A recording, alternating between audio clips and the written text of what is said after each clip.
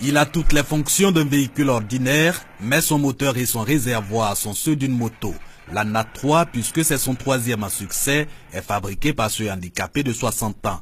Flana Soro exerce la mécanique, un métier qu'il n'a pourtant jamais appris. Le sexagénaire est même analphabète, il dit n'être jamais sorti de son bengue natal. J'ai appris comme ça, ne pas faire apprentissage. Depuis l'âge de 13 ans, 14 ans, je commence à brûler. Vous avez pris quoi pour faire la voiture? J'ai pris les vieux vieux fers, les vieux fers, les tôles qui est déjà jeté. Et puis j'ai pris aussi des tôles qu'on vend pour faire les portières. Le bricolage, seul prix des inventions de Flana. Cette dextérité lui réussit également dans le dépannage et la fabrication d'électroménagers, réfrigérateurs, télévisions, postes à soudure, chargeurs, motopompes, bref, aucun appareil n'a de secret pour Flana.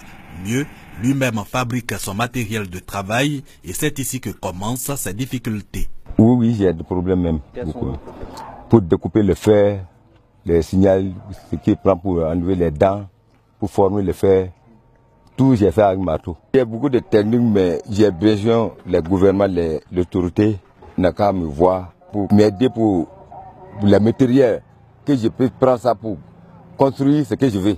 De l'aide, Flanasoro en a besoin. Le but, moderniser ses outils de travail et gagner en efficacité. Le bricoleur n'en tirera pas seul profit. La jeunesse de Mbengue est à tout le moins le plus grand bénéficiaire, car même avec ses moyens rudimentaires, Flanasoro a déjà encadré des dizaines de passionnés de son métier et forme en ce moment encore de jeunes gens.